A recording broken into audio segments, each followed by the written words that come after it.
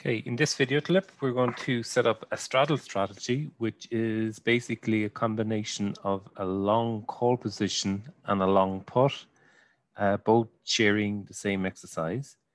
Um, now, this could be set up to be a volatility play, uh, and um, we'll demonstrate a little bit some of the sensitivity here to the maturity and to the volatility, and then also uh, stock price uh, so the basic element here would involve uh, setting out um, a representative uh, set of possible terminal stock prices. So we have to consider uh, what would happen under a variety of different circumstances. In other words, under a range of different stock prices, uh, what would the value of the payoff be on the trading strategy? Okay, so we're building, uh, what we want to replicate here is what we have in the diagram. Okay, so we want to consider the long call and the long put at the same exercise and then uh, net out, if you like, the combination. Okay, um, so uh, starting off then, we need uh, a set of underlying asset prices. And uh, we would need to set out um, uh, an exercise. Okay, so also we would need to incorporate in what the value of the margin here is, the value of the premium. And to do that, we, we, we will use Black-Scholes. Now, the Black-Scholes model, I've already got set out and Black-Scholes call, and then for the put, we have something similar. So we calculate D1, D2 the same way, and we estimate uh, the Black-Scholes. Uh, in the link below this video, I'll provide a link to that code. Uh, okay, so if you want to input in that VBA code, I'll leave a link, a hyperlink below where you can find that. And that should be on Vinegar Hill. Um, okay, so let's go in then to uh, considering uh, how we would work out the value of uh, the Black-Scholes model. And we need some parameter inputs. So there's an SKR sigma.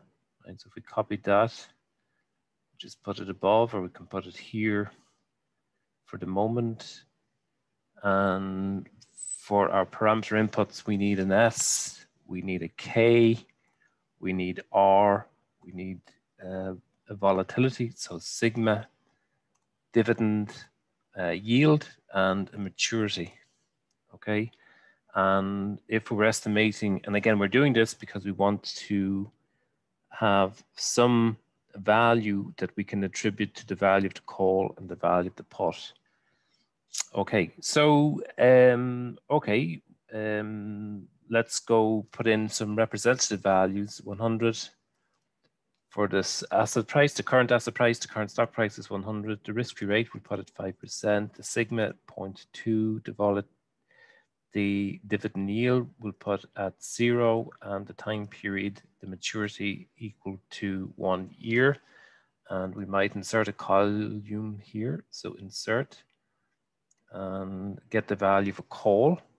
Okay, so the using Black-Scholes, black Scholes call will be an auto prompt from the user defined uh, function and then we'll map in the arguments. So the stock price is 100, 100, risk-free rate is 100, sigma is equal to 0.2, dividend is equal to zero, and the maturity of the contract is equal to one year. We hit okay, we get a value of 1045 we could drag that across or we could just basically set equal to the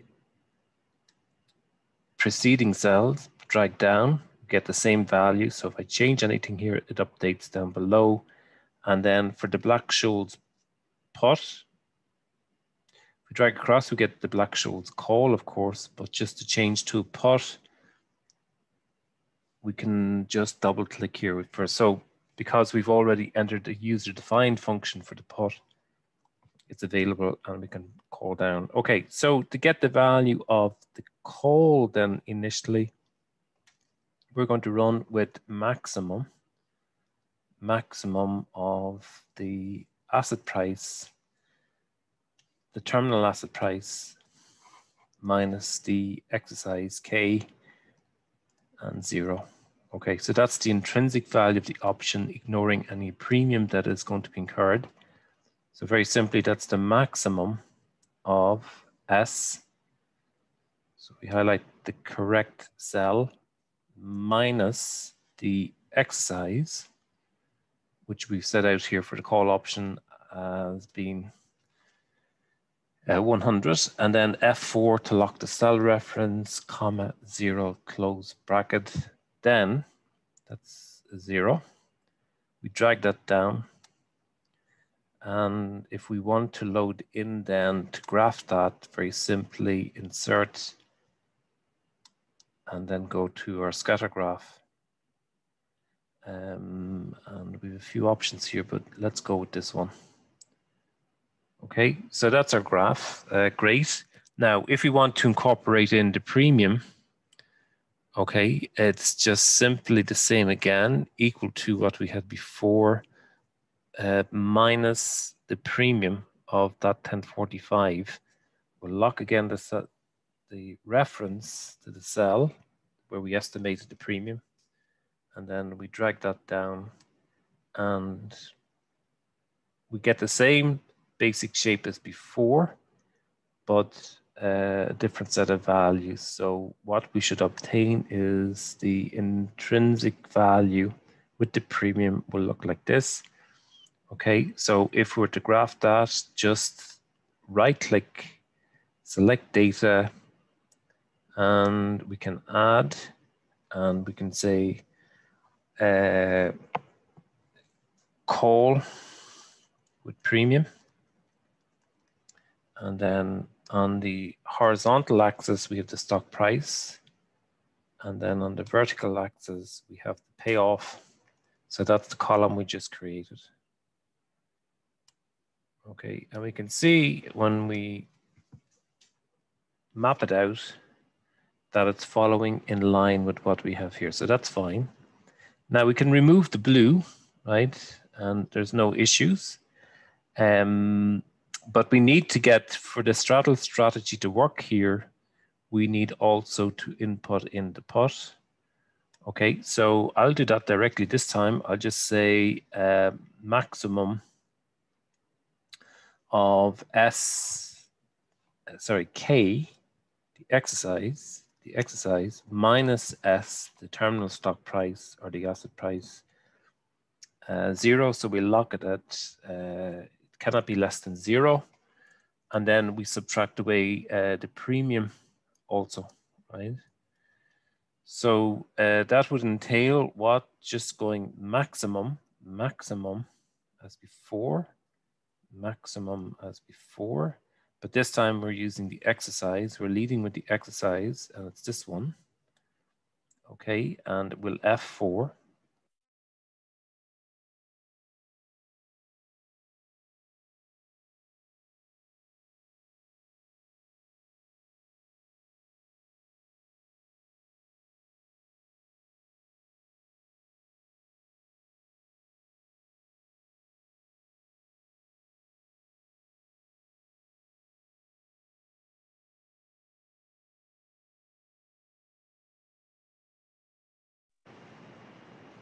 Premium here is 557. Okay, so let's um, just take that away, but we need F for that as well. We need F4. Okay, and then we should drag down. And then to include in, select, add, uh, so put with premium. And then on the vertical, horizontal axis, the terminal stock prices on the vertical vertical axis, the payoff that includes in the premium for the put, the cost, the purchase price of the put. Okay, so that's beginning to look a little bit uh, familiar. Okay, um, the we've sort of uh, there is a small difference that the put here is higher in value and the call is less valuable in terms of premium. We can adjust that in a moment. Um, but we now want to see the combination and our portfolio, right? So that's easy to estimate. Um, the combination or portfolio is just the sum of the two. So we add this plus the put, right? So the call and the put combined with the premiums, just add both.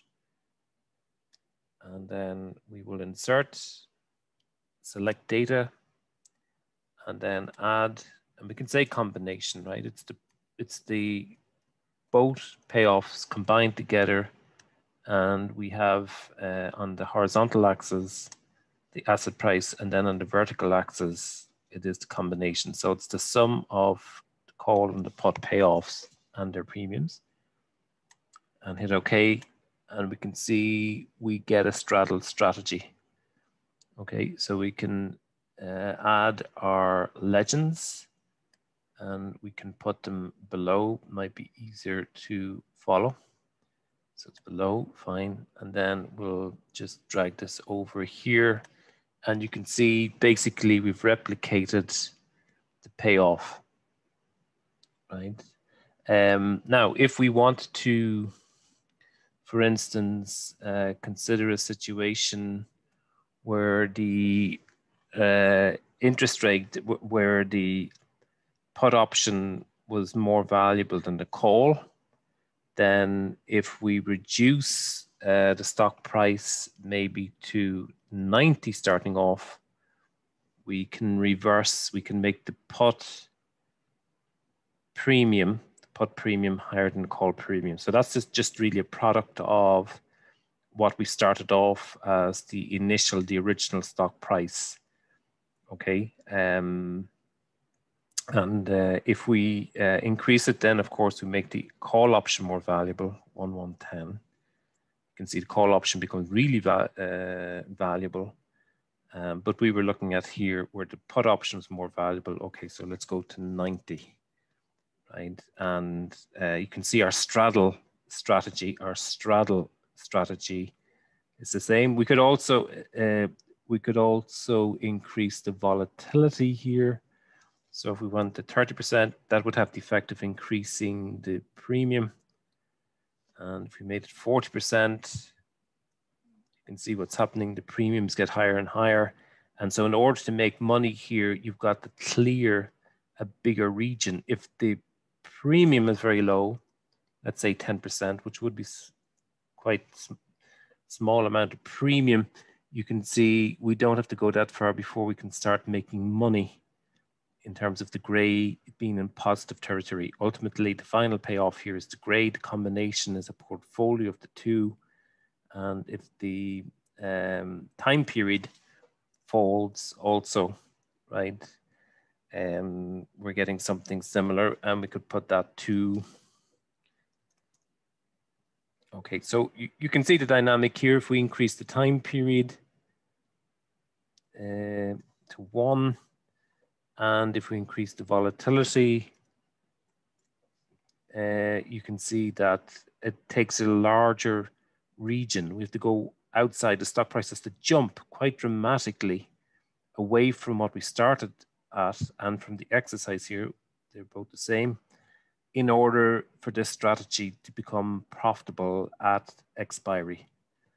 Okay, so obviously this is could be seen as a volatility play and that as the volatility increases, we would expect uh, those bigger jumps would produce higher profits, all else being equal with a straddle type setup. Okay, so that's the basic implementation of a straddle strategy. It's a combination of a long call and a long put with the same exercise.